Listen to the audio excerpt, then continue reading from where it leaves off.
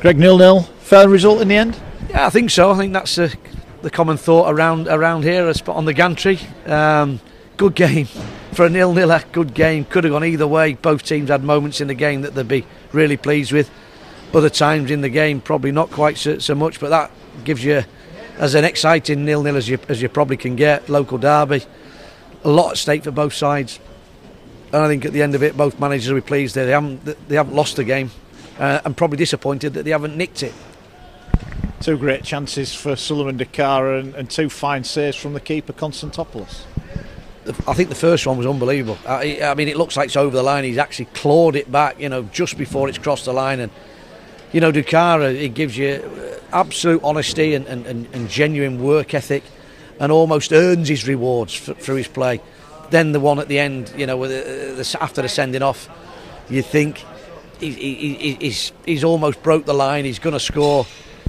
Keeper spreads himself, hits his legs and goes away and, and, and saves his side. But you know, it's really tough on, on Leeds, but I thought they defended really well and were probably a bit fortunate early on in the second half not to concede a goal in the first place. Yeah, Boro had a, a chance. You look at the attacking threat, and then they bring a, Adomah and Nugent on off the bench. It was really the haves and the have-nots, wasn't it? Yeah, I mean they've got that ability to, to bring players on that can game change. I thought Adomah looked really sharp, put Charlie, you know, on the back foot and kept him defending rather than venturing forward.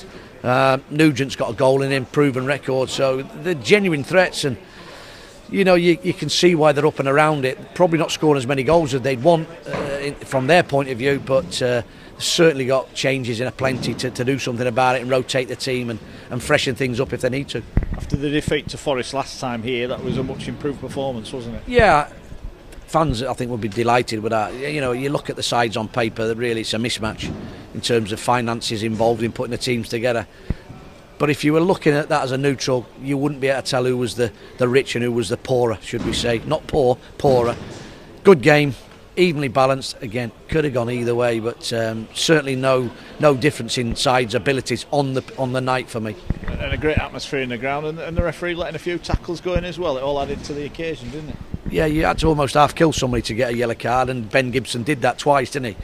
you know, no complaints there. Two stupid challenges, really rash. Second one, especially when he's got a yellow card. But yeah, the referee let things go, and um, it all adds up to, to fast and fluent and you know non-stop stuff's what we want to see. Nice to see Alex Mowatt back as well.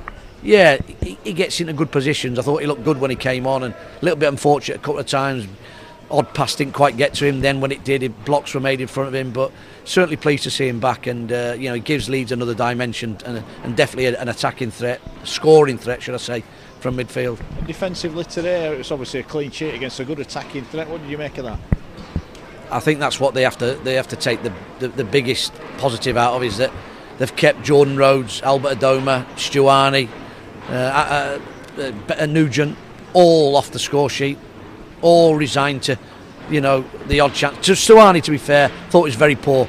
Should have should have scored, and uh, no surprise to see him taken off. But the defensively, Leeds are up against as good as it gets in terms of what was starting and, and the players they could bring on.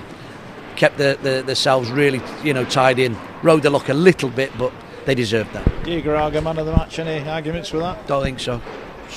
Terrific energy, legs, kept the ball moving, plays good, positive side foot, safe passes, but with with with pace, and uh, breaks the game up nicely. You know, I thought it was a really, really decent showing from him.